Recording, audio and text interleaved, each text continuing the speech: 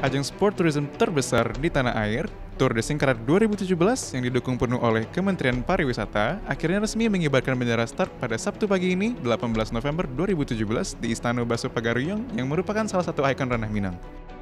Mengangkat tema The Biggest Sport Tourism, kejuaraan yang masuk kalender UCI dengan level 2.2 ini dimulai dari kota Batu Sangkar, Kabupaten Tanah Datar sebagai tempat start dan finish di kota Bukit Tinggi. Ajang ini diikuti oleh 19 tim dengan total 108 orang pebalap dari 25 negara yang akan berpacu melewati 9 etape dengan total jarak 1097 km. Hari ini, etape 1 menempuh perjalanan dari Istana Baso Pagaruyung menuju Pantai Cimpago, Kota Padang dengan panjang jarak 109,3 km. Para pebalap disambut hangat dan antusias oleh para warga serta siswa-siswi sekolah yang dengan sengaja datang memenuhi Istana Baso Pagaruyung.